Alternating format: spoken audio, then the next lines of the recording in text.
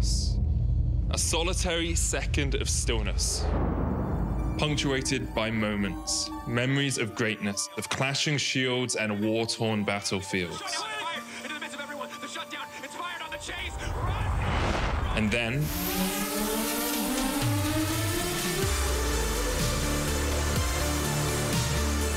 A shining moment in the void. First one, then another and another until the entire sky lights.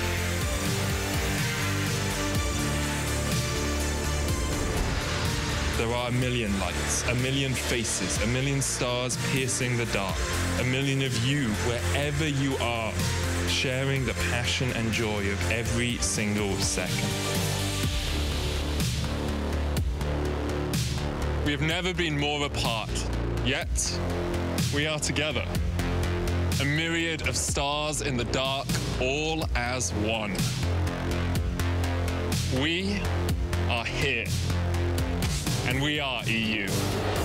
That is one damn tanky crocodile. He's going for the triple. He's going for the quadra. Come on, And across spring, we have shared in battles and glory, in the elation of victory and the pain of defeat.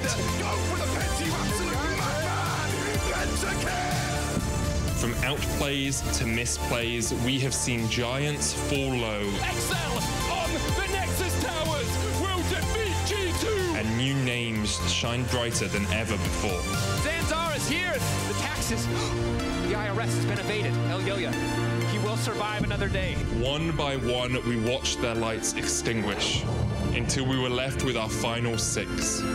And through trials and torment, through ecstasy and exaltation, we reached our destination. Two teams, a million lights, all waiting for today. And it all comes down to this. In the fight for glory, there is no relenting, there is no stepping back, there is no second chance. So just one question remains Who's going to claim the crown?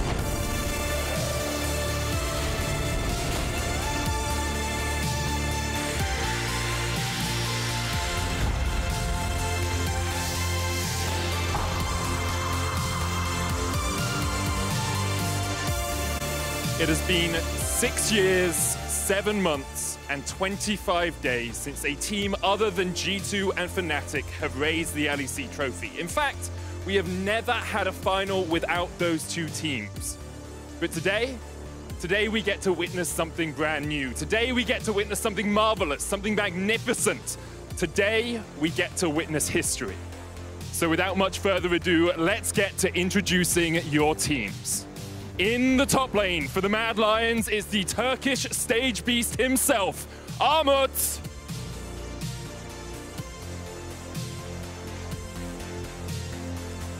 Mickey goes all the way forward thanks to the Q. Manages to chuck out the ulti for now. Mickey's going low. Manages to catch the Dredge. Oh, it's a huge Mickey has star! done it almost. He may have just done it. He set up one, two, three quick kills for the Mad Lions.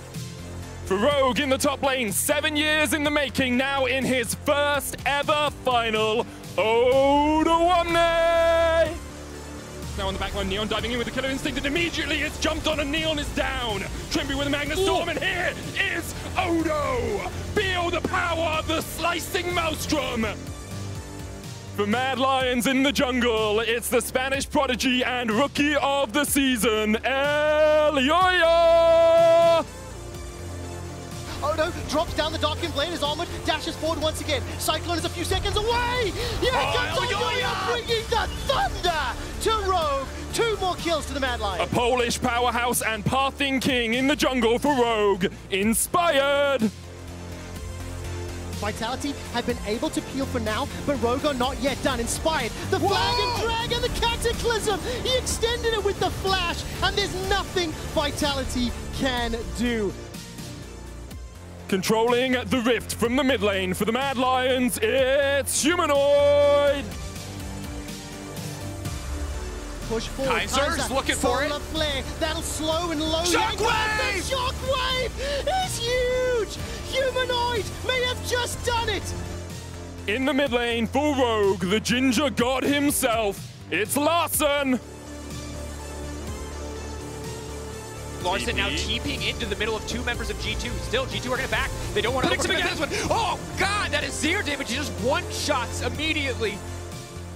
In the bot lane for the Mad Lions, he's Carzzy by name, but crazy in lane, it's Carzzy! Miscue's locked, left alone without the rest of the team. Astralis are ready to Carzzy! killer instinct from Carzzy. The double He's a kill madman! for the Kai'Sa. In the bot lane for Rogue, it's been three years since his last finals, but he's finally back to fight for the title, Hans Sama! And the swipe! Hans Sama will pick up the kill onto Elyoya after losing Trimby. Here comes Larssen. He picks up the second. That's Hans Sama with the double. Kaiser's the next one to fall. A triple kill for Aphelios. For Mad Lions in the support role, in the year of support diff, there's one name that reigns above them all. It's Kaiser! 3,800 HP and Madline starts to back away. The Unstoppable Onslaught is not just yet used. It's not available. It's on cooldown from Inspice. He Oh, Kaiser! back. Fantastic engage from Kaiser. Gets a three-man knockup.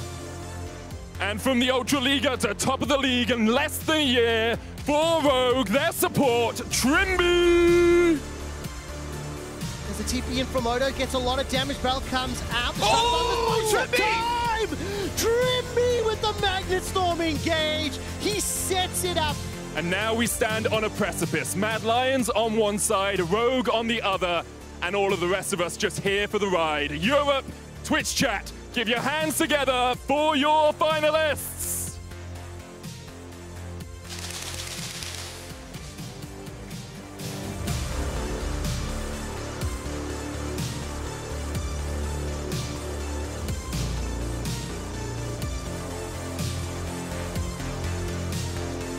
And there's one last thing to do before we dive on into the finals. A great series demands great casters, and I've got three of the best for you. Guys, take it away.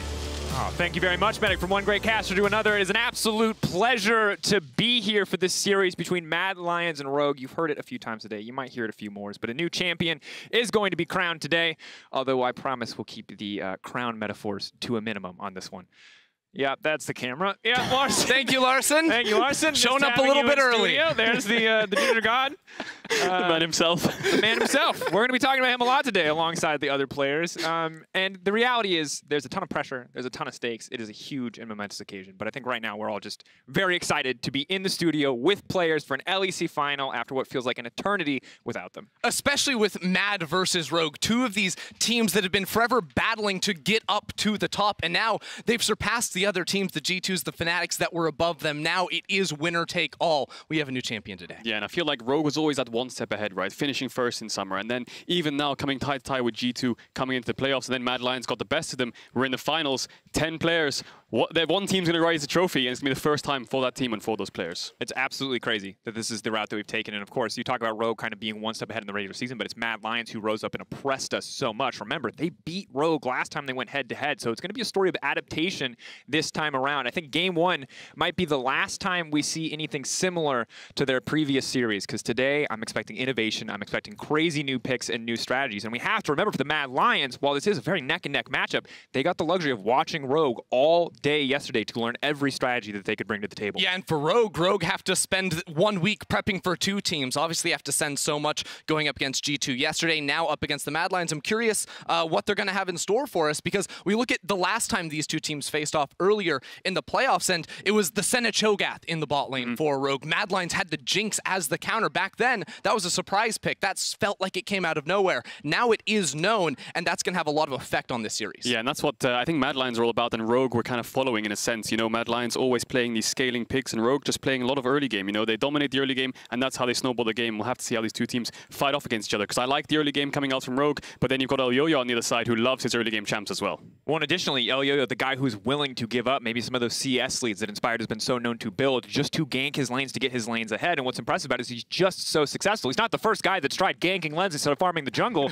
he just seems to make it work every single time. And that's exactly the kind of approach it feels like you need against against Rogue in a sense because uh, I like to say there's three things that Rogue always look for in a draft, always look for in a game plan. It's usually going to be some form of scaling element, likely for Larssen. You know, the Azir, the Corki of old has some other champions in his wheelhouse too, of course. But then also, you want to have strong early priority lanes. Even with the scaling picks, they often are winning out their lanes. And then a fast clearing jungler for Inspired where he can go on the offensive. In and the most important thing to me there is the priority lanes, right? That's what gets your jungler ahead. That's the kind of playstyle Rogue have. And that's similar to what you saw against G2. They had the prior lanes in the best of ones throughout the whole regular split, but G2 found the ganks. And when you have those prior lanes, once they lose them, it's really difficult to play the game. Yeah, and Elyoya showed in the last series uh, creative early pathing, dodging away from vision that, of course, Inspired was putting down in the jungle. And it was that sort of surprise factor against sometimes the more predictable nature of Inspired's pathing that helped Mad Lions get out to a good lead. Yeah, and vision's the key thing, right? We even saw it in the G2 series yesterday. Inspired spots Jankos one second on the map. He already knows he's clear for the next two minutes, takes away his camps, gets level leads,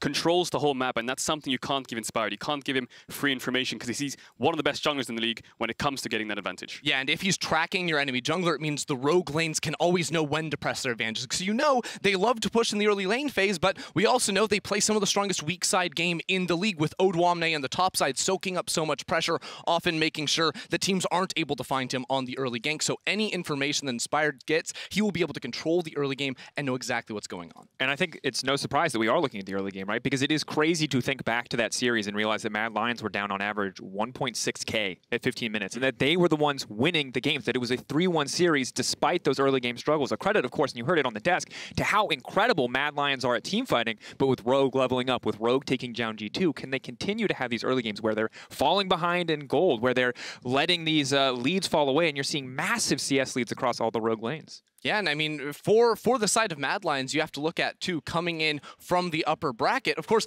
they also made huge improvements in the offseason. Both teams ch making changes in the top lane, making changes in the jungle for the Mad Lions. Big effects coming in here and coming into these two organizations' first ever finals. And now it is time, picks and bans for the first game, Rogue versus Mad Lions.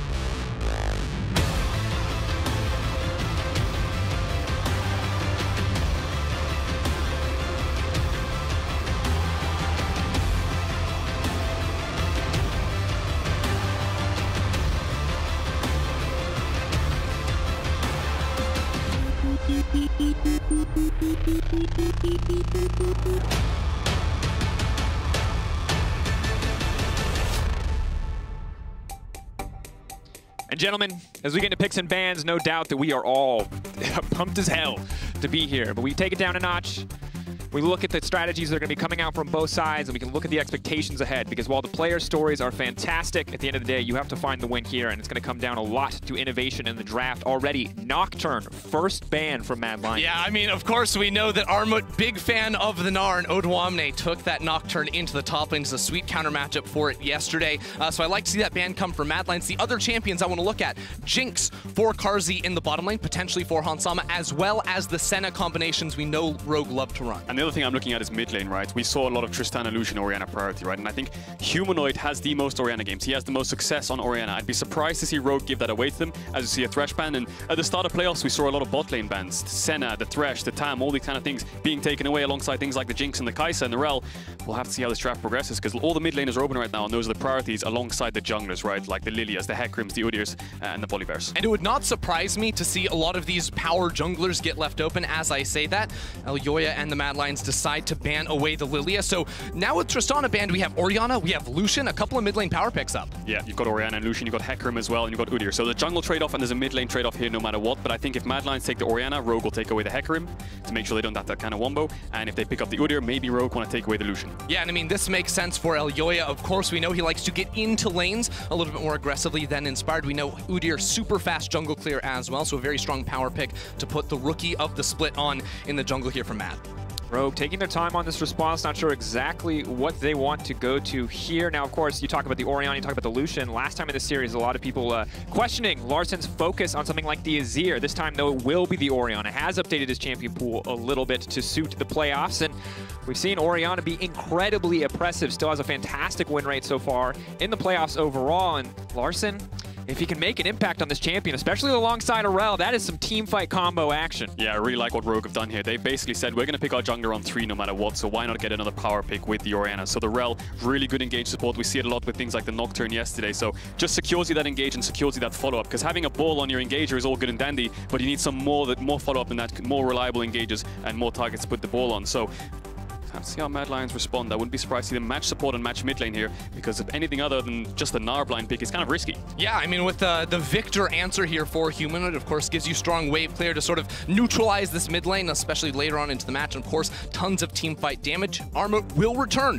to the Gnar that was so successful for him up against G2. Makes a lot of sense. You can see the draft plan already. Ban away the Nocturne, ban away the Lilia to prevent the, the Lucian Lilia coming out from Rogue. They won't run back the Nidalee because they need the Renekton. So ban away the Nocturne, blind pick the Gnar. They've matched the um, the, the mid lane as well. So we'll have to see how Rogue respond. We expect them to pick up their jungler here, but they could also match match tops. Looks like things like the Jace, perhaps the Kennen that we've seen out of Odoamne, but no, gonna go for the head creep. I think that's the smartest decision. Letting jungle go 4-5 yeah. here is kind of risky. Yeah, exactly. It feels like it's a little bit easier to pinch the jungle pool with just two bans in the second rotation, as opposed to top lane, where we know that Odoamne always has those comfort picks to fall back on, the likes of the Kennen and whatnot there. So we already know Rogue, very strong team fight composition. Mad Lions also trying to fight back against it. And now for Rogue, it's about securing strong pushing bot lane. So I'd actually look at bans like potentially an Ashe here for the Mad Lions. Yeah, definitely. We've seen exactly how important bot lane priority has been for Rogue when they get those advantages in the bot lane. So easy for them to dictate the base of the game, something that you guys brought up earlier. So easy for them to force the Herald swaps or not. Really, they get to be the ones to decide all of the early game action. Now, credit to Elyoya, he was the one to break that, to interrupt that cycle previously, but it doesn't make it any easier if the bot lane here is guaranteed to find early pressure. And that's something Rogue always likes to do. Things like Kalista Rell, pushing lanes, Ashe, like Ender said, Ashe already taken away. So I wouldn't be surprised to see the Kalista taken away to prevent Rogue having that strong bot lane, that strong priority like that we saw them use against teams like Schalke to make sure that they had the first move into mid. So they always had numbers advantages. And Mad Lions picking up this Gnar, they want to ban away top laners, and the Rogue want to ban away more supports or bot laners to get that strong push in bot side. And we have to remember, something that maybe has slipped past our, our, our gaze here is the Senna. This has been a champion that's been massively high priority, probably the reason that we are now seeing a Tahm Kench banned away. Remember that it was Mad Lions who took the Jinx Thresh lane to shut down the Senna Cho'Gath that Rogue brought to the table. The question is, do Mad Lions want to ban this away? Could they give away a Senna Rell lane? Is that even something that you want to prioritize? Because that has been an insanely high priority, insanely successful pick across the playoffs, but it's not showing up yet. Yeah, I would say that with Rell locked in, I would be very surprised to see Rogue go the direction of the Senna. Of course, the Tahm Kench ban by Rogue almost hints at that themselves. Now, Rogue do have some options if they were looking for a pick in a similar vein to the Ashe. The Varus can, of course, give you some strong presence on the bot side of the map. Yeah, see, they're hovering Draven here, but I think it's going to be a Kalista pickup. The Kalista Rell is so powerful. True. Yeah, going for the Kalista. And then you have to question what ADs are open. You have got the Aphelios open, the uh, the Jhin is also open, the Xayah is open. Got a lot of ADs open here, so we'll have to see how Rogue want to trade it off to get the powerful pick on the AD. You could also just pick top lane here and just counter top lane, but then counter AD. But it looks like they can pick up the Varus, so they think that's the strongest champ for their comp right now with all this engage, all this AoE damage, rather than going for something like the winning lane uh, in Kalista. Yeah, I mean, right now, Rogue have all the tools they could ever want to say, we are fighting right now. So it, it's very much a game where Rogue, if they're up to date with vision, if they're tracking Mad Lions well through the game, they can find numbers advantaged fights and of course try to catch out some of the players of the Mad Lions, maybe a little bit more conditional with things like the Gnar. They need more setup when it comes to when they're actually going to be looking for a fight. Yeah, the Alistar picked up surprised me a little bit, something I completely forgot about actually, the, the answer into Rell. I'm surprised Rogue didn't want to take that away. Instead, they took away the Senna time, like Drake's pointed out, and the Ezreal. And we'll have to see what AD they pick up here, because the only ones really open, like we saw earlier on, are things like the Jhin, perhaps. And of course, it's credit to the flexibility of the Mad bot lane that priority bans like Ezreal and Tahm Kench are what get taken away. The Jhin now being locked in, we saw in the hands of Rekkles yesterday, felt a bit underwhelming in the overall pool of 80 carries. Maybe Carzzy can have a better performance today, but the Varus, we know, can be that oppressive lane bully, can set Rogue up to have some pushing bot lane on their side. The debate here, though, for Rogue, trying to set up Odoamne for success, trying to give him that counter pick for top lane. Karma, not the spiciest answer, but has proven to be a consistent one. Instead, however, Ooh. we get the GP. I really like this. So coming in, it was maybe a little bit unexpected. The Karma, he's been playing a bunch. The Renekton as an answer into the Gnar matchup, of course, can work, but now Rogue, with this GP coming in, have a lot uh, of great options. I think in the early laning phase, GP not going to be too unhappy here versus the Gnar. He takes some nice trades, but also that ultimate versus a Viktor versus a Jhin, very challenging to deal with when behind you you're getting slowed by the cannon barrage and in front of you a horse is sprinting straight at you. Yeah, definitely. We saw this matchup yesterday, I believe, in the TSM versus TL uh, series, Huni versus Alphari, GP into Gnar, and although they were losing that game, Team Liquid and the GP was not falling behind when it came to team fights. The GP was so oppressive, especially now that Mad Lions have picked up two immobile carries. Yes, they'll have the phase rush, and Jhin will have a lot of mobility, but the GP ult on top of the Orianna ult and the Hecarim ult, the Rell, the Varus, there's so many spells flying at Mad Lions here. that They need to make sure they can find the right engage to dodge them away and get their carries into the fight. And gentlemen, we do need to remake picks and bans, so we will have a few minutes. We're just a bit delayed heading into game one as you see the coaches uh, give each other a nice COVID-safe bow as they leave the stage. We are moments away, of course, from the first game in the series, and it's a thriller, but when I look at the picks and bans, what I see for Rogue is they've secured some early priority mm -hmm. in some of their lanes. They've secured a ton of team fight power. And on the opposite side for Mad Lions, now I like Viktor in the meta. I like Gnar in the meta, but that is not nearly as reliable as GP ult, into Hecarim ult, into Orianna ult. It feels like Rogue have a clear path to team fight victory. Yeah, they have a lot of reliability, like you said, Drake. Also, the interesting thing for me here, like you touched on the mid lane matchup, Orianna into Viktor is something that's being picked a lot in Europe especially, but most of the time I see this matchup, Orianna, if she gets ahead by a sliver, she's always dominating the lane phase. So talking about priority, talking about the push, I think Rogue have definitely secured that in the mid-bot side. Yeah, and I think that it's going to be a challenge, of course, in any game that you go and face up Rogue. Looking at early lane pressure, looking at early jungle pressure, I do feel like oh, Elyoya got what he wanted, right? With a first pick, Udyr, super strong champion in the meta. If we're looking to set up any player on Mad Lions for success right off the bat, oh, Elyoya must feel at home. Absolutely has to, and I think, of course, there is also a certain amount of pressure because we have seen that if Elyoya wants to gank, it does mean Inspired will be getting ahead. And a Hecarim getting ahead is always going to be a bit of a concern for the opposite side. That does make it feel a little bit like Mad Lions are on a clock up against a composition like this, despite also picking some solid scaling options themselves. Yeah, they have some scaling, but you're definitely right by saying they're on somewhat of a clock. I mean, if you look at the series yesterday of Rogue versus G2, the first game, Inspired was on the Udyr. He got himself ahead. He, I think it was 2-3-0 a lot ahead of Jankos in the clear especially. But the champ itself is very oppressive in the early game, but when it comes to the mid to late game, it's almost like a walking health bar with a little point and click stun for somewhat of an engage. So it's definitely more oppressive in the early game, whereas Hecarim, although he does have a pretty strong early game, in team fights he's always going to be that for beefy sure. frontline who's engaging on your backline, has multiple AoE CCs and can find your carries regardless of his positioning. Yeah, I think you'd also look typically at a champion like a Viktor perhaps, you know, with the gravity field, with the burst damage the AoE can have, it's good when you're you're playing back and you're inviting people to run into you. The problem is there's a lot of champions that are trying to run at you. There's so many tools that Rogue have that Humanoid is going to have to be on peak game. Yeah, definitely. Looking at these two comps, gentlemen, I would say Rogue's AoE team fighting is definitely favored. We touched on it a lot.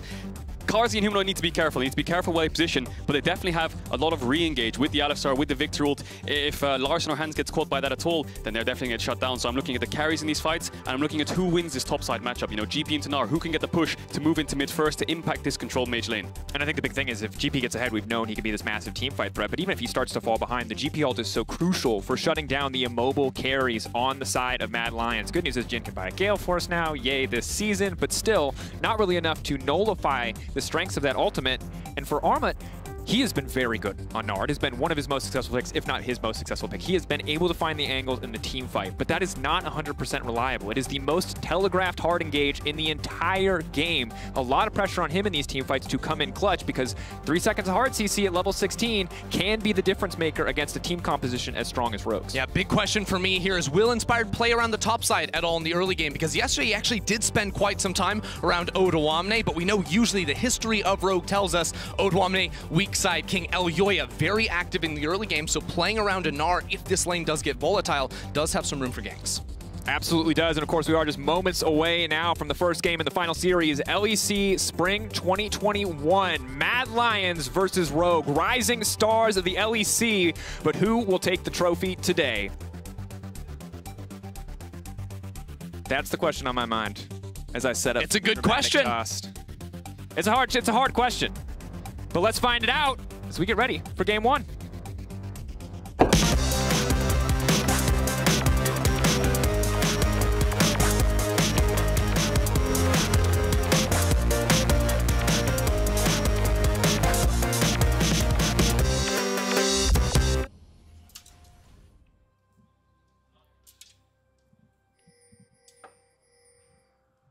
and as joyous and as exciting as the music is that brings us into game, it's important to remember the pressure that is on all 10 players on this stage. There will be a new champion In the LEC, it is a new era for European League of Legends. There's no G2, there's no Fnatic. You will not see those logos today. Today, there is only Rogue and Mad Lions. But in the end, there can only be one. High pressure on both sides. Big opportunity for both of these lineups.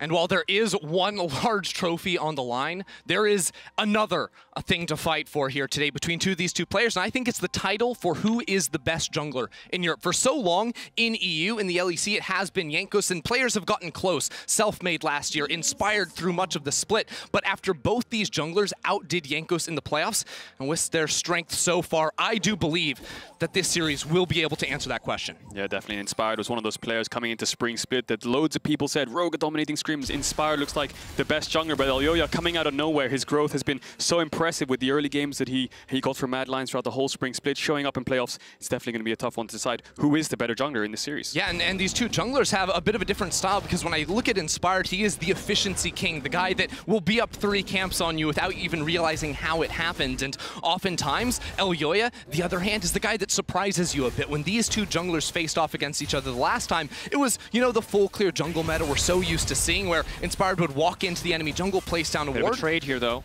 Level one, Carzzy taking a big chunk out there, and as interesting as the junglers are, it looks like Rogue are uh, more interested on winning out in some of these individual yeah, matchups. but I mean, that's the thing, right? You always expect Rogue to have super powerful lanes early on, and something that Elyoya will have to consider, because with Inspired pathing from the top side down, very often you would go in, ward the enemy jungle, but Elyoya's brilliance in their last face-off was dodging around the vision, knowing the predictable wards, and being able to find really creative ganks. Yeah, we'll see if we can find those ganks. Both junglers pathing towards the bot side here. And Varus is a pick that we haven't seen much in Europe. I think Hans is the only one who's pulled it out. We've seen a lot in the LPL along things like Ezreal. Definitely showing up in this early lane phase against the Mad Lions bot lane, who I think Carzzy and Kaiser throughout the whole of Spring Split were almost like an inconsistency factor for Mad Lions, you know. Despite having a topside lead, they would always throw it with going so aggressive into bot side or finding these 2v2 kills. That even happened to them a lot, so the inconsistency was very, very stark contrast to what you see in playoffs now. I think playoffs, Carzzy has definitely stepped up. The lane phase is more consistent. The damage output is through the roof. And on those hyper carries, he seems to have a lot more comfort. And it is incredible, Mad's turnaround. You think about the absolute collapse of this team at Worlds to an inconsistent regular season to then be able to show up in playoffs like it's nothing. Remember, they were throwing leads in the regular season, massive early game advantages on single Baron plays left and right, and now it feels like, well, yes, they have fallen behind in the early game against Rogue. They have been able to show up so consistently mid to late game to win out on these team fights. That said, as much as the stories are important here, we got to keep our eyes on the junglers. We set that expectation, and now Inspired and Elyoya on the same side of the map. Neither side going to be able to have a big advantage. Important to note, Hans Sama, no mana, but a very big health advantage. Yeah, right now Rogue have bot priority, but Humanoid has mid priority for Mad Lions. Now Yoya on the early game Udyr feels really strong in any sort of these fights, so it may be an all-out brawl for the Scuttle Crab because Elyoya will not want to give this up, and both mid laners are resetting so they can TP back and fight. Yeah. Trymbi and Hans Sama are getting pushed away by Kaiser. Kaiser the Combo engage. lands. Oh, They've got the setup. That's the Ignite now ticking. He's trying to move out the crash down. The extra shield going to keep him healthy for now. Hans Sama not too afraid, throwing down auto attacks in response, but Mad Lions backing away. Does mean Elyoya will be able to grab the crab on the back of that solid trade. Yeah, looks like he'll pick it up. Both mid laners did TP back, but there was a lot of fighting in the bot side. There was so many cool mechanical plays there. Trymbi cancelling the first combo from Kaiser, but in the end, they contested the bot wave. They pushed out to contest the crab, and now Elyoya can get a huge lead from this. I mean, double crab in the early stages of the jungle is so important when it comes to getting the first back, first items, and setting up vision on the map. Yeah, it's absolutely crucial. And again, Odoamne on the other side has priority top side for Rogue, but Inspired, it's a blue buff versus a red buff. It's level 4 Hecarim versus level 4 Udyr is not going to want to take that trade. So already great start for Elyoya. Yeah, definitely a great start, especially against a player like Inspired, who we saw yesterday is so, so clean at getting these efficient pathings he has the Raptor ahead. respawn. He is around mid. The Raptor respawn is coming up as well, so if he can deny this, that's a three-camp advantage for Elyoya in the first four minutes of the game. TP used by Odoamne wants to stay involved in that laning phase, but with the gravity field already down, maybe Larssen is it a false sense of security. Elliot could try to roam through, but look at how he's pathing down to the bottom side of the lane. Has the vision there to cover him, knows that he can feel relatively comfortable. However, Inspire going to find out the Raptors are now gone, letting him know that for now, at least, Elyoya is on the top side of the map. Yeah, and Humanoid winning out on this mid-match. We might try to cancel Larssen here. He does in the end. Larssen doesn't have TP, no potions to work with either, and the wave is frozen. And that's going to be really difficult for Larssen. When he comes back to lane, he should be down a lot of CS. So, the early Humanoid game... knows he's in that bush too. He can keep stopping this. Yeah, stops him again. The early game for the mid jungle of Mad Lions is definitely in their favor. This gold lead you see on the screen at the top there, 300 is just purely from the mid jungle. And of course, important to note that the last time we saw these two teams play, even though Mad Lions did win, it was early game every single time for Rogue. So important and dramatic shift here in this game, even with a draft that we're maybe a little bit more worried about when it comes to team fights, that they have been able to at least stop for now the early game pressure of Rogue. Yeah, and I mean, this is to some extent Mad Lions and Elyoya coming in with an early game plan because in that series it was so often the full clear handshake between these two junglers. And Elyoya said, no, no, no, calling the shots in the early game like we've heard Mad Lions say he does a million times before. He wants to fight over the Scuttle Crabs with that first pick, Udyr, and off the reset, Mad Lions pathing towards mid. Yeah, I think they want to crash this mid wave. Trimby's around. Carzzy also roamed up because there's no need for him to be bot. Looks like the wave will bounce in the end, so Larssen should be safe in this mid matchup. Jungle supports just showing themselves just in case anyone might try to look for some kind of gank. But Humanoid, you can already see the CS. He's going to use the Viktor ultimate on this wave to push it in, get a free base, and that just gets him a natural creep advantage from just early lane phase trades, getting him ahead. And that's really, really good, especially in this Orianna Viktor matchup. Going into the mid to late game, getting those items first is going to be so crucial. Yeah, and right now already seeing the, the big lead start to develop in both jungle and mid lane for the Mad Lions, but there is a concern they have to think about with level 6s coming through on the map. We already know Rogue have so many good tools to force fights, and also with both top laners using their TP, now Odo has the ability to influence mid and bot without a response. Yeah, with the ultimate from Gangplank, but just bringing it back to the mid jungle. Look at the lead that they have. Elyoya has almost like a four camp advantage onto Inspired. We can see it in the gold already, 300 gold lead there. And then you look in mid, Humanoid will come back to mid to pick up this wave, and he's going to have around 10, 15 CS lead as well. So really well played from the early game from the mid jungle of Mad Lions, definitely stepping up in the series because you'd argue that the Udyr does have favorable uh, matchup into the Hecarim in the early game, and it looks like Mad Lions have the pushing lanes to actually contest Rogue.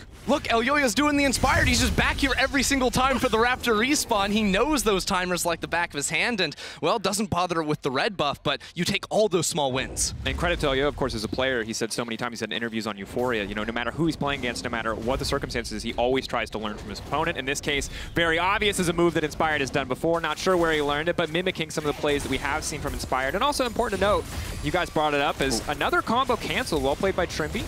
We'll hold that thought as Hans Sama just hit level 6. Kaiser now going to be in trouble. He has been rooted up. That's the crash down the gangplank. All to follow. Kaiser running for the hills, but it's not enough. First blood for Hans Sama. That's going to be big. Carzzy forced to back away. Yeah, it's a big 2v2, but it's a 3v2. Odoamne with the cannon barrage. Rogue were waiting for this moment, and they strike first in the LEC finals. That's definitely going to hurt this bot matchup. Hans Sama getting first, but I think Inspired's on the Dragon as well. So, no, it looks like he's on the bot crab. So the advantage is from Rogue coming from the bot side of the map. That's going to help out Inspired, who can get the crab. A little bit of bot, bot priority there, which he didn't have in the level 3, level 4. And we'll see this replay again. Hans Sama just trading aggressively onto Kaiser, who gets his combo cancelled again. This is the second one that uh, Trymbi's cancelled with the stun on the engage, and then getting a level up from the creep. You'll see Hans Sama hitting the minion there, leveling up, tossing out the ultimate. Kaiser not flashing it in the end, gets taken down. Yeah, presumably Trymbi has spent more time out of lane. That's why he's level 4, so the level 6 completely unexpected there for the Mad Lions, because that was, you know, four players all 100% HP, but with the help of the Cannon Barrage, enough to get the kill. And at the end of the day, this kind of bot lane priority has been so important for Rogue. You saw it cost a little bit to Elyoya, or to Inspired rather, in the early game when Elyoya had bot priority from Carzzy and Kaiser. When he's able to take away those crabs. The fact that Hans Sama is now coming into lane, finding kills at level 6, that Trymbi is backing up, canceling any of the aggression from Mad Lions, is big for Rogue, because while Inspired is inevitably the center of attention after his fantastic performance yesterday, Hans Sama is key in Rogue building up these early leads. Yeah, definitely. And Hans is the only player in this game with prior finals experience, right? So getting kills onto him, getting resource onto him is so important because he has that experience to bring it home if it needs to be. And yet Rogue do know that early kills do not a game make. They are the, the sort of the team that's known for building up lane advantages and not necessarily killing you to get their early lead. So the gold overall is still dead even because, again, of the mid-jungle combination. I have to say that sort of the evolution already that we've seen from the mid matchup has been Larssen on the back foot. No, Yoya's mid. Trying to proc phase rush. Has to hold on to a few cooldowns, but he's going to continue to walk forward just to make sure the wave does push in. Hans Sama and Trymbi, though, are already going to be grabbing a few plates. It doesn't look like I Kai's see a Raptor camp. Carzzy are comfortable to contest, and now Inspired. It's a battle for the chickens.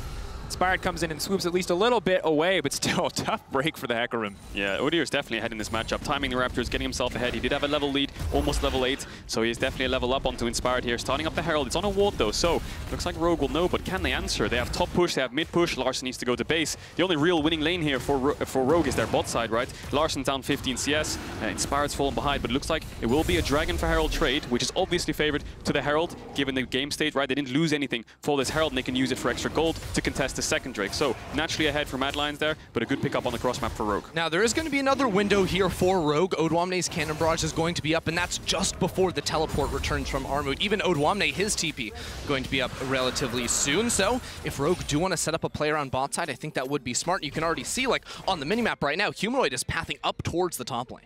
Yeah, maybe you want to look some kind of cross map because maybe Inspired wants to Herald bot tower. Three plates left.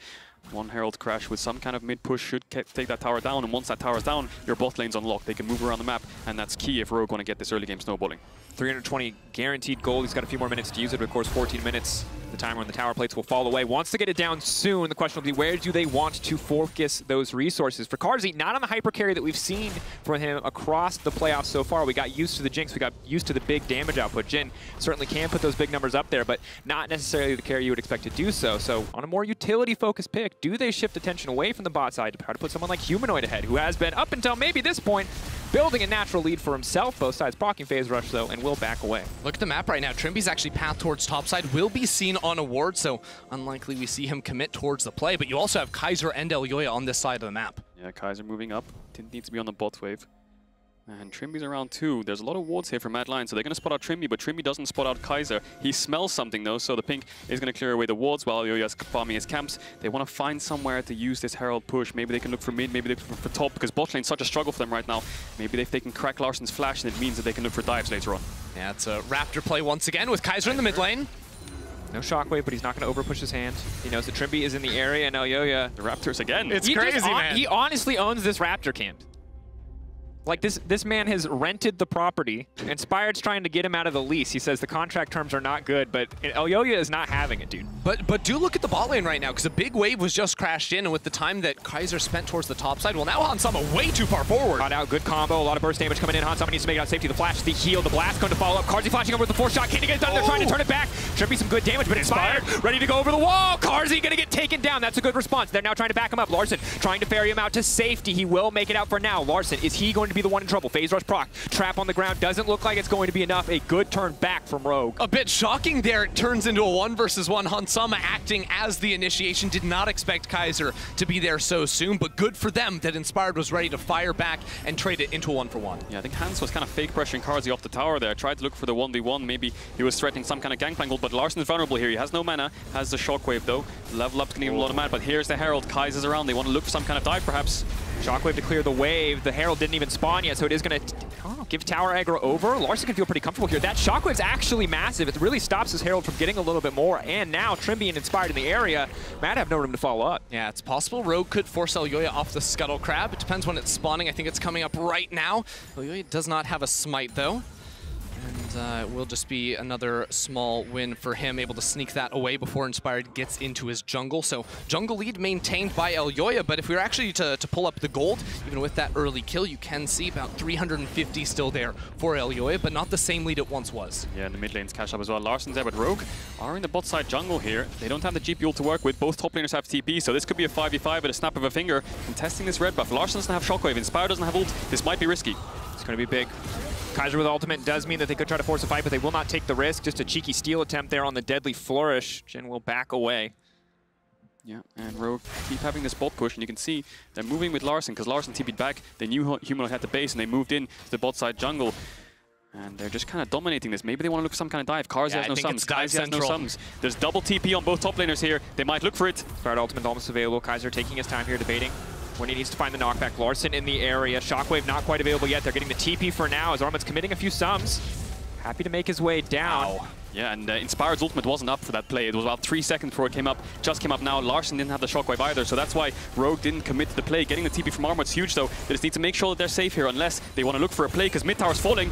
Engage is going to be there immediately. All comes back from Kaiser. They're trying to stop it, but he is an unstoppable pony. Inspired, though, is just going to dash out to safety. Kaiser now going to walk away as well. That's the TP coming in from the GP, but the plates have fallen away, and already Humanoid is breaking down the mid lane. Rogue are going to match in this play, but they might find themselves in trouble. I mean, it's so huge that Mad Lions are able to disengage that without losing a single player. Yes, the turret goes down, but the entire time that Rogue were setting up that play on bot side, Humanoid was chilling in mid lane, knocking down that tower. Larssen lost more minions, and at the same time, Elyoya full cleared the top side away from Rogue. So this is Rogue Rogue feeling forced, feeling pressured to make plays, but Mad Lions continuing to gain advantages elsewhere on the map. Yeah, you can see how the story of the game's going around. Rogue playing heavy for bot side despite being behind in mid jungle, and now even further behind in mid jungle. The items being picked up now. Yoya still a level ahead of Inspired, and Humanoid still having that CS advantage over Larssen in this mid jungle matchup. But look at Hans, almost 40 CS up, has that Kraken Slayer already, so we'll have to see how they move around with their bot lane, because Drake spawning soon. They already have the first dragon, bot power's down. Looks like Hans is going to be around, around mid, and they want to fight for some kind of neutral objective here. And 15 minutes in,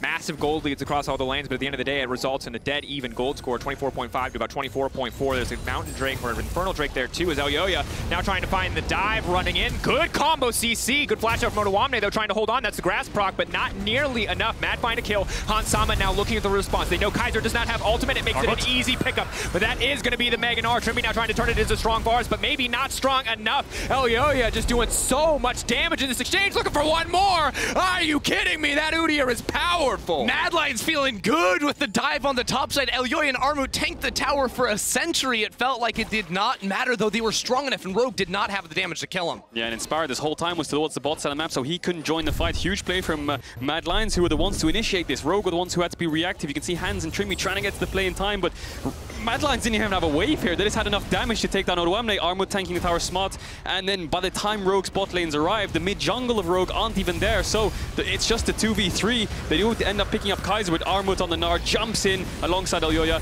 and they pick up another kill. And there's a Rift Herald on the back end of that too, so Mad Lions can continue to try and press their advantage and extend their threat in this game. The thing to keep in mind on Rogue's side, they were able to get the first two Drakes of the game. They have a very strong AoE team fight combination to work with, so this will force Mad Lions into fights against them. But if Mad Lions can continue to extend this gold lead, sometimes the composition advantages from Rogue may not matter. And again, stark contrast to the first series. First series, it was Mad falling behind, Mad coming back in team fights. This time around, it is Rogue falling behind. Rogue, the team that will need to bring it back in team fights. Mad Lions, instead, we get to see a test that we haven't seen for them in a while, which is snowballing this gold lead, building this early massive advantage to be bigger and bigger to the point where Rogue's team fight strengths are no longer relevant.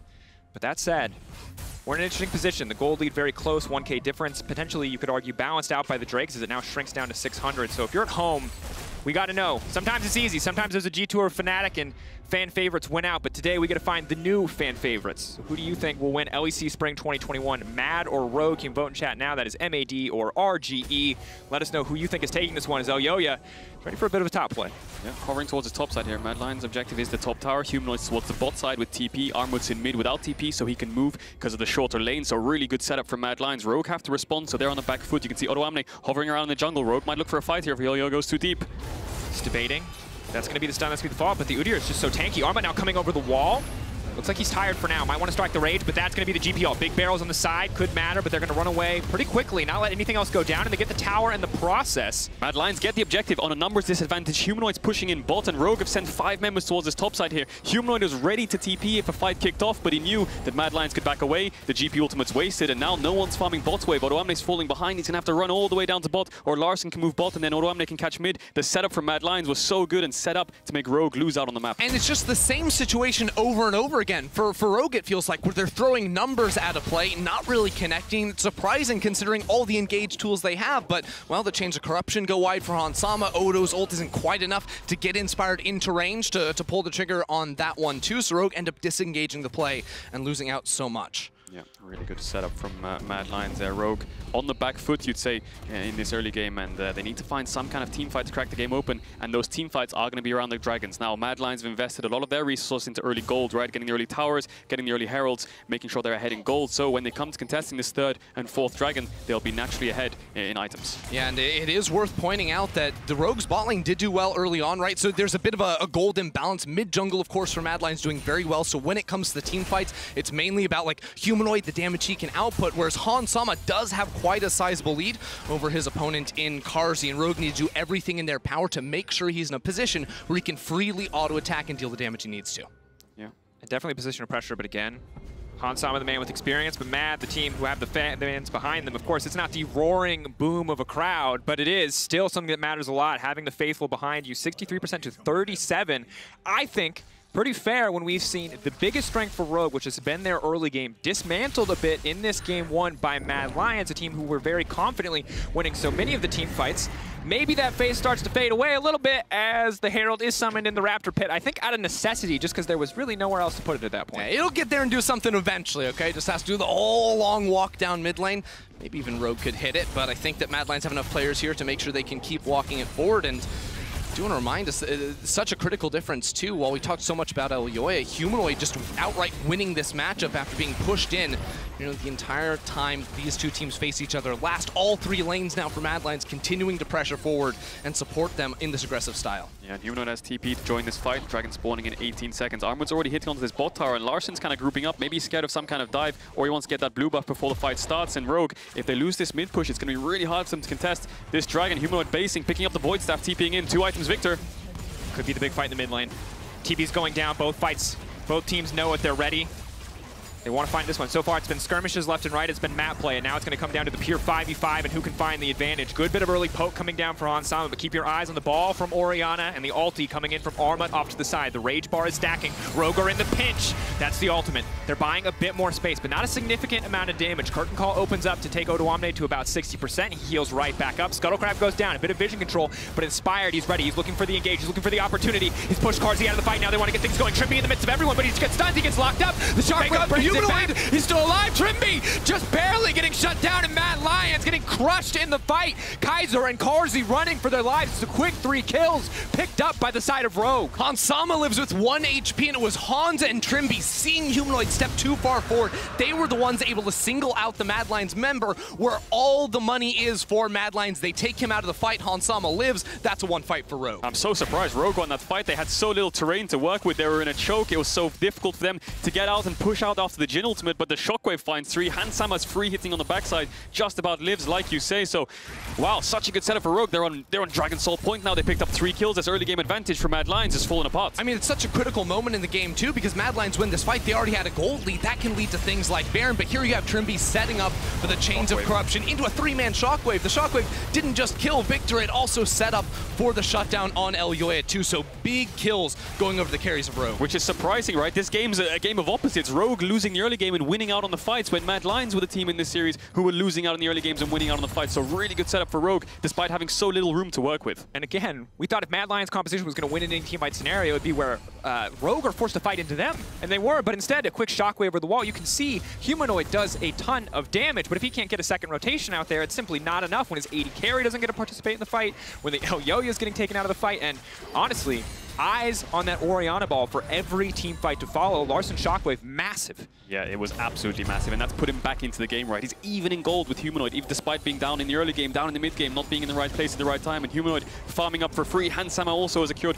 a shutdown for himself. All the kills, barring one, are on the carries of Rogue, so I have to see how they use them. They have so much team fight spells to work with. You can see if Mad Lions group up even for one second, the Shockwave connects, a GP ult, a Hecarim ult, it's lights out. Take a breath.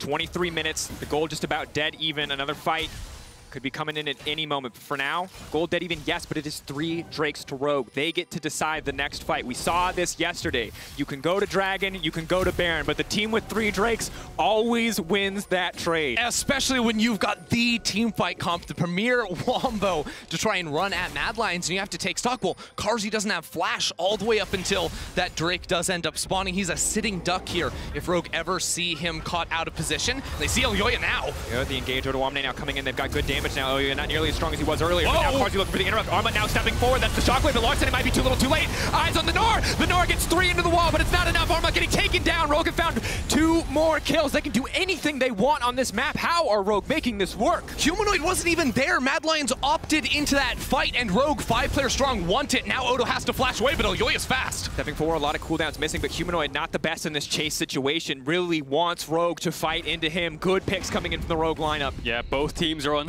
knife's edge in a sense. They want to find a fight. You can see Inspired engaging onto Elyoya with Flash Up and Kaiser wanting to re-engage despite having a numbers disadvantage. You have to question what these teams are even fighting for. There's no Dragon, there's no Baron setup for either team, so no one can really find any neutral objectives off this fight.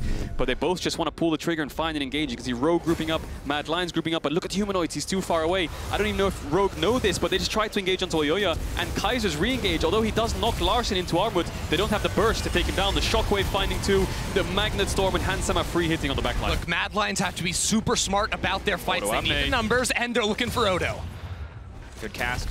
He'll take his time. He's just going to go in for the fight. He knows Larssen Dharma's TP coming. in. Big TP though, but Humanoid can't just turn. He can throw down the gravity field. Instead, he's going to try to walk away. Odoamne just looking for the one He's one just against killing him. Oyoya. That's shield bow. Now he's trying to get a little bit more of the rage coming in. They will manage to finish the job, but Larssen in the area, Trymbi in the area. Hans can collapse as well. It is a minute 30 to Dragon. It is 35 seconds on Oyoya. Rogue will have control of the pit. The weak side king in a 1v4 just straight up gets the solo kill. The rest of Rogue have the threat to keep marching on board. That mid lane tower now looking very vulnerable. Yeah, looks like Rogue should be able to pick this up. They have a lot of members here, and Hans can hit it if he wants to. He has the flash, but it might not be worth it. Having to flash away one minute before your soul is definitely not something you want to do, and Elyoya had to burn flash in this exchange. What did Odoamne have to burn? Nothing. He had no flash, and the GP ult wasn't up, so definitely favored when it comes to this fourth Dragon in 50 seconds. Rogue already have the setup, and Mad Lions don't have much to work with in terms of face check unless Alistar or Kaiser can run in, and then they might have to pop the ult early. If Hans finds a, uh, a chain of corruption or a shockwave hits the backline, it's going to be really hard for Mad Lions to find some kind of vision to contest this, uh, this fourth Dragon. Yeah, and as that tower does fall, Rogue gonna take a back seat. Trymbi goes back to base, make sure he can get some wards in the inventory, double controls, because again, it's about controlling space now for the Mad Lions. If they see an angle, see an entrance into a team fight, see an area where they can sort of group up multiple members of Mad Lions, they are going to pop against Larssen and Hans Sama.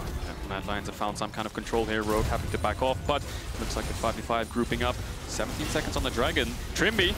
Kaiser going forward is going to get locked up in the gravity field. Is going to get it out with the ultimate for now, but he's just getting burned down. They simply do too much damage at this point of the game. Kaiser getting dropped off does mean Rogue now have the team fight advantage. Half of Trymbi's health for Kaiser's life is not a good exchange. Rogue, they just have to wait out this Mega Gnar for Armut, and then the team fight's looking real good. Armut going in! Strikebreaker 40, he's managed to lock up Hans Sama. They got Now the Hans! follow, Yo-Yo going in two, but the Shockwave says no, not today. Larssen has Hans Sama's back, and Rogue will take the fight.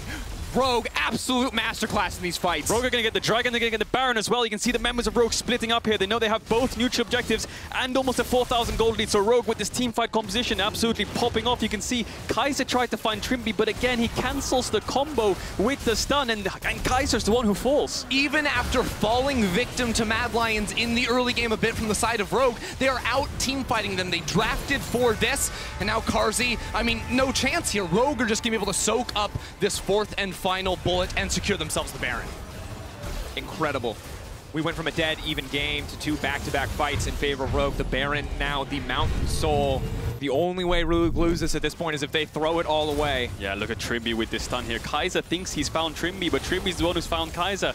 Cancels the combo last second, so he doesn't get knocked up, so Mad Lions can't follow up. There's no target to hit. And then once Kaiser's fallen, that's one of the frontliners down for Mad Lions. Yes, Armut's in the Mega Gnar, but Rogue played slow, and he has to overreach to find the engage. He gets Hans Sama, but what's the follow-up? Humanoid's too far away. Carzzy can't pop the ult because he needs to hit Inspired. And then from there, Rogue win the fight. Yeah, I mean, even uh, Humanoid rather getting caught out there by Inspired and taken down.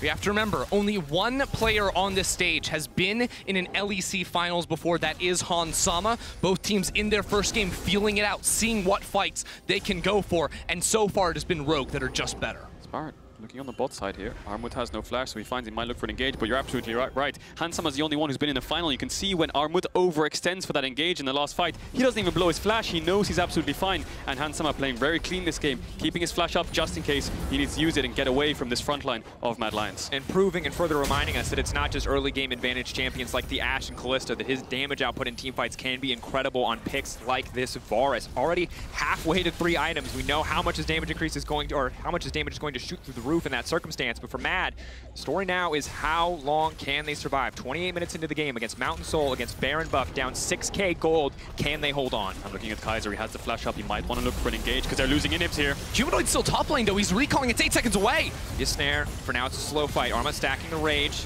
They've got a little bit of time here, but they are going to give up bot lane. The rest of Rogue just backing off. They're playing this one patient. This is what we know Rogue can do. When they build a big enough lead, when they have a team fight advantage here, no surprise to see them play it out nice and slow. So rare to see Rogue make mistakes in an instance like this. Armut uses his ultimate, but he gets nothing done here. He has to hop away.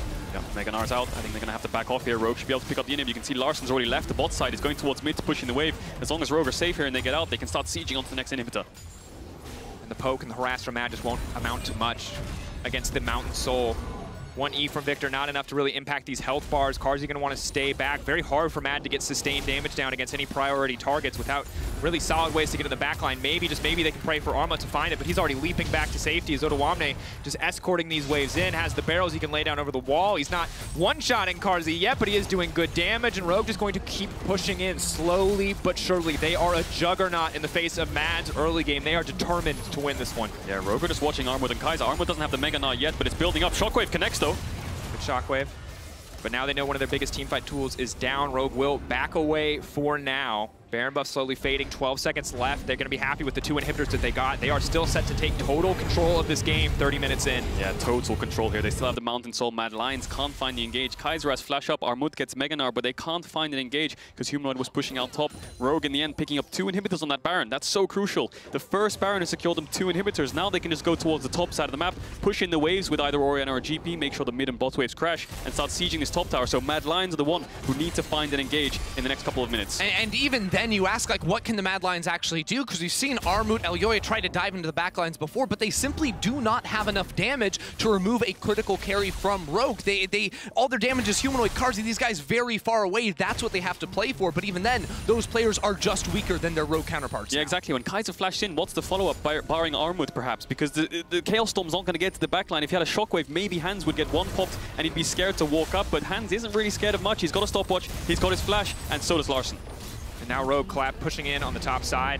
Mad Lions maybe hoping to find a collapse here, but for now, they're, they're honestly just holding on, using that Viktor wave clear to good effect. But with two waves of super, one for now, as Armut is at least pushing out the bottom lane, stopping too much pressure from going against him. Elyoya just threatening, just trying to find some kind of opportunity. I like G2 the in the finals. G2 player. the G2 flare. Yeah, you're completely right. Armut's pushed out bot. That's huge for the side of Mad Lions because that means they can clear mid wave, which is the closest tower to top side, so they can they can bar the siege a little bit. But the GP ult comes out to get the siege going. Lockdown, but immediately GP ult is going to be more important. Yes, Inspired will go down, but what is the cost? Because he manages to take it out to safety. In the meantime, Rogue are breaking the tower. It is PvE gameplay. They do not need to fight Mad, but Mad might have different plans. The leap out from Armut, trying to get the stacks down, wants the hyper proc. It's Elyoya in the darkness, waiting in the flank, hoping to find something, but little does he know, Inspired backing just inches away from him with no health whatsoever. Yeah, and Elyoya did not want to tango with Odoamne. He remembers what happened the last time, and it did not end well for him. And even if Mad Lions were able to find that fight, the brilliance is we're still a minute away from any neutral objective spawning. They would have only gotten gold. They would have only held on longer. They could not have converted. Now, a fight, if it were to break out, would be Mad Lions' only chance to get back in. Otherwise, they're facing down a Baron buff and an Elder Dragon with two towers left to defend their Nexus. Yeah, but I think that Matt kind of had a window there, right? Inspired was out of the fight with an ultimate. The GP ult was used for the siege, and Mad Lions were the ones pushing forwards. Rogue had to back off. Maybe they could have found a fight there, but in the end, they decide they opt against it. And Armut's going to push out this top wave as fast as he can in base and look for a TP on this dragon, because it's whoever gets this Elder Dragon basically has a huge, huge advantage in the team fights. Bit of a fumble though from the side of Rogue. Larssen TPs down to the bottom side to get blue buff. I thought it was so that they could test this objective, but then still opts to back anyway. Maybe just needed a little bit more gold for the Void Staff as he does now have four items, but Orianna still, the big combos are waiting to keep our eye on. So much CC here, and how can Mad Lions really respond? They are shepherded into this corner of their own jungle because they just do not have the vision to play anywhere else. Well, I think we saw almost the only idea from the Mad Lions. Can they split up the fight, see a target that they can try to remove, turn it into a four versus five? They did that with Inspired last fight, made him have to ulti on out, and now Rogue are on a warpath. Guys are going to be in trouble. You'll take the blast of safety, but Armut forced to clear waves means he can't choose when his ulti oh, there's is up nowhere to go. Now Kaiser going to be taken down. Only level 12, only two ranks in the ultimate. It's just not enough, but Armut, it's big. Maybe he can turn it Carzzy though, but still inspired off to the side. Humanoid and Carzzy alive for now. Matt are absolutely winning the fight. The two carries left standing for Matt. Will they be enough? Armut still living. Odoamne trying to finish a kill, but he can't do it. Four shot from Carzzy is good damage, but Humanoid is going to go down in this exchange. Desperate to kill someone, but no! Flashes out to safety. The flash in response from Hansama. Humanoid drops. Rogue find the fight. There are just too many carry threats from Rogue. Sure, throw everything you can to kill Larssen, but Odo and Hans Sama are still staring you down. Rogue take the fight, and they're going to take the Elder. Yeah, they're going to get the Elder, they're going to get the Baron as well. Probably Humanoid dead for 40 seconds. Yes, he has the TP, but Rogue have four members on the map, and Mad Lions only have two for the next couple 30 seconds. So we'll see what they do. Carzzy's around. Maybe he want to look for some kind of steal. Trymbi's over the wall. Carzzy doesn't have sums, though. This could be dangerous. Trymbi might die. Walking away. Trymbi set to fall. Trymbi should go down. That's going to be the hyper proc. 500 health. And immediately they get the Elder Dragon and just pop him like that. Instantly removed from the map, and now no humanoid, no Carzzy. Well, running into an Elder Dragon, it is not going to work for the Mad Lions. So they must give up this Baron buff, and then is that one final charge for Rogue to seal the deal on game one. And when we came into this game, we talked about the battle of the junglers, Elyoya and Inspired frontrunners for who will be the best in Europe. But at the end of the day, this has not been a game about the junglers. Early game, yes, it was Elyoya, but mid, late game, it has been about the carry threats from the side of Rogue. Hansama, Larssen, backed up by Trymbi, playing fantastically in these fights. Yeah, and it looks like Kaiser kind of got caught out here, right? He split from his team, he's trying to hide on vision, but he gets spotted out in the end, and essentially he has to run away, and Mad Lions have to collapse, because if Kaiser falls, down goes the Elder Dragon. So you see all of Mad Lions balling towards the play, but Kaiser actually plays it pretty well. Knocks away one, and Q flashes onto Larssen, who gets rooted, and then gets chain CC'd to a fall from the fourth shot from Carzzy. But like Ender said, there's so many threats on Rogue. If Larssen goes down, Hansen or Odoamne is still alive, and they can input all the damage. Yeah, and we, we see the best supports in Europe all the time try to go for flanks like these when you're so far down in gold, when you're outscaled, and when you're out team fought. Simply because the gambit didn't work does not mean the idea was not strong, and yet Rogue still have every advantage they need. Yeah, Larssen still has flash, but look at the damage Hans did in that fight. Almost 7,000 damage. That's more than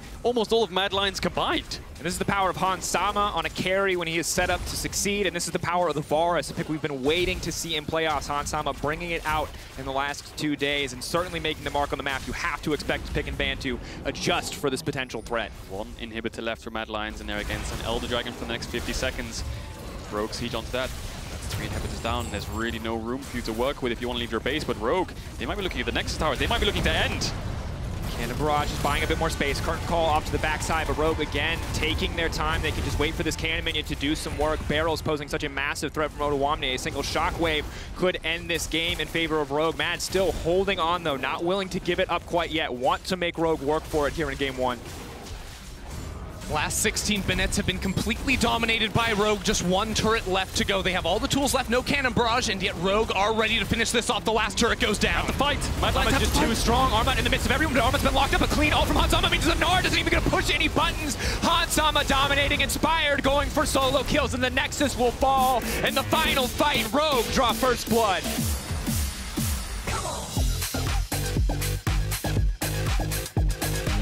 Game came down to a single moment. It truly felt like it was that third Drake, 20 minutes on the clock, and everything it, felt like was going Mad Lions' way. They had the advantage from the early game, but it was Trymbi setting up Hans Sama, setting up Larssen, the team fighting of Rogue that reigned supreme here for game one. An incredible credit to Trymbi. When we looked at the series he's played in the past, we said maybe a little bit of a liability, a guy who gets caught out, a guy who dies a lot. But we saw it up against Limit, and I think we're seeing it now here today. When he is shutting down another support, he is so fantastic. Every single use of that Rell E stopping Kaiser in his tracks. Yeah, basically just outplayed him in the engage, and Kaiser couldn't find him. And I think the thing that fell apart for Mad Lions in this game was the third dragon. They dropped the dragons early game to opt into more gold for their carries, but when it came to the dragon fight, despite Rogue having so little terrain to work with, Trymbi was the one to find the engage, Larssen was the one to follow up, Hans was the one to finish them off. Incredible turnaround from Rogue in that first game after a pretty commanding Mad early game. We'll see how it shifts as Rogue have opened the finals with a win, and after the break, Sjokz, Vedius, and Bwipo will break down the key moments from game one.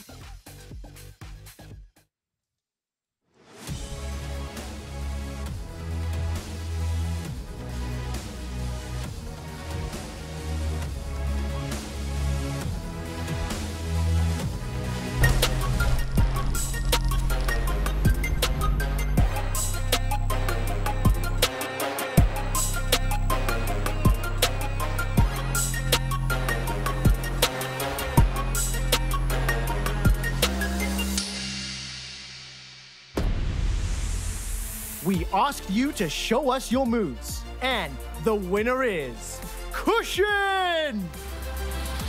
He's playing Miss Fortune on the red side, starting things off with a fantastic ultimate, picking up two quick kills. Dashing backwards into the tri-bush, looking for Rakan. Gale Force forwards, finds the kill. Looking for the fourth, the double tap for the double-double. Darius at the target, knocked up with the boss golem and the pentakill! We'll see you in summer. Kia, movement that inspires.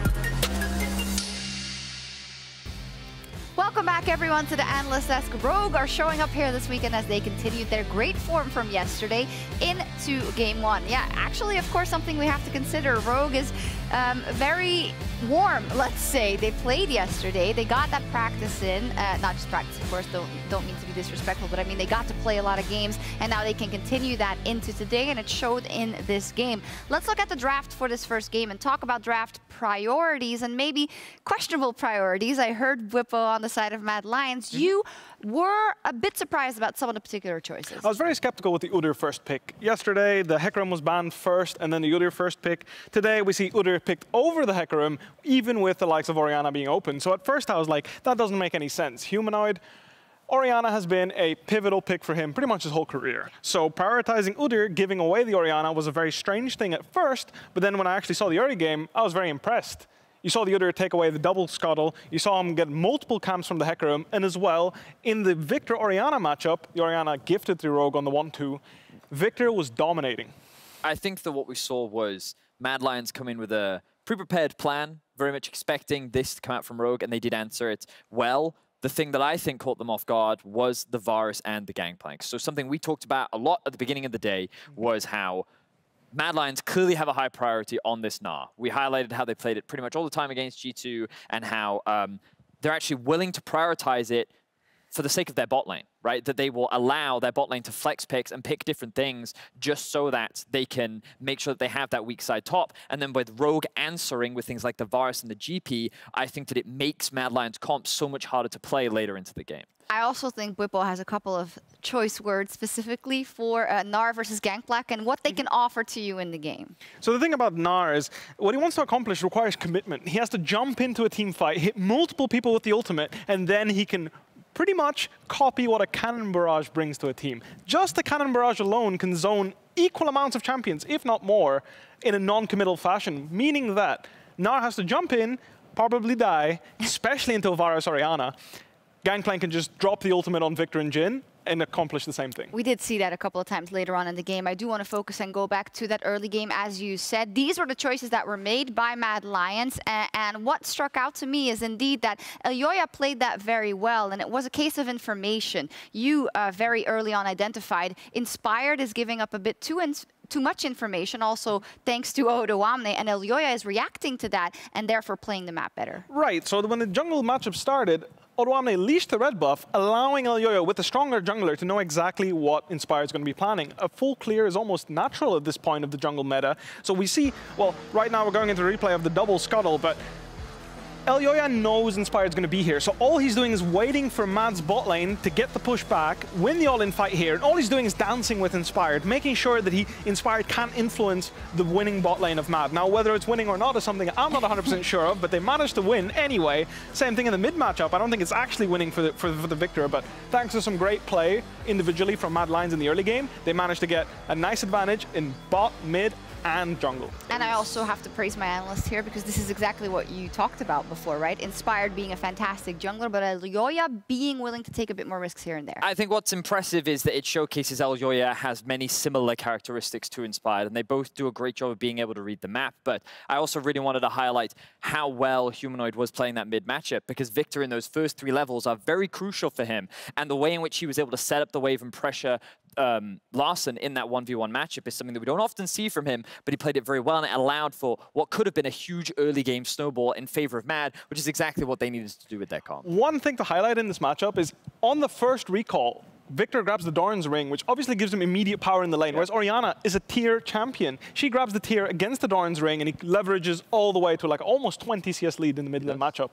Indeed, uh, and the early game was then better for the Mad Lions, even with the choices they made. But it gets to the team fights. We talked about it so much, and we wanted to take a look at the third Drake fight, which was so incredibly important. And Bwipo, you wanted to uh, put our attention on specifically the choke points and the possibilities in position. Absolutely. Now, inspired going in here. The thing is, Armut's on the side looking for a flank, rather than looking to zone off this choke point with Humanoid. As you can see right now, Armut's on the side, not together with Humanoid, which means as this team fight is going to start, Trim is going to flash in on Humanoid, if you can roll the clip right now.